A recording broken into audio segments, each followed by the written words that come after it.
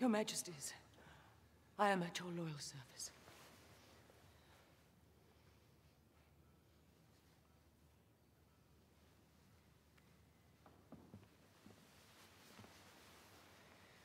Dear God, guide us and protect us.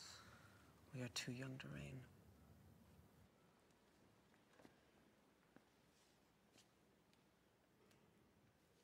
May God crown you with a crown of glory.